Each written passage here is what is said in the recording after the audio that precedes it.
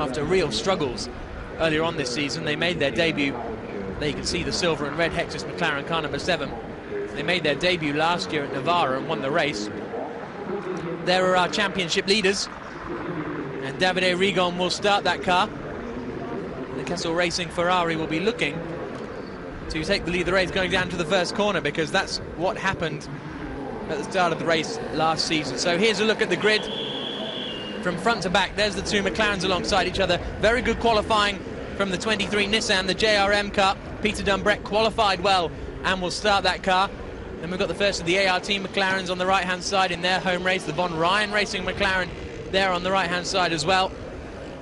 The first of the Gulf Racing McLarens on the left-hand side. Then the first of the Phoenix Audis, number six there on the right.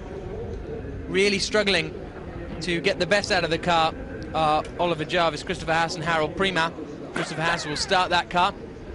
JMB Racing 555 are entering a Nissan for this race. This is their home race, literally because their factory and workshop is in the centre of the circuit here in Paul Ricard. There's Enzo Ide, uh, Phoenix Audi as well further back. The V1 BMW there on the right-hand side. Bit of a disappointment because they looked very, very quick in free practice one. They were running within the top 10 all session, but couldn't pull it out when it mattered in qualifying. There's Ahmad Al Harthy, who we heard from in the pre-show in car 66.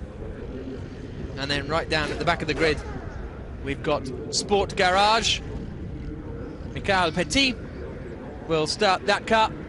And alongside it, the Porsche of Delahaye Racing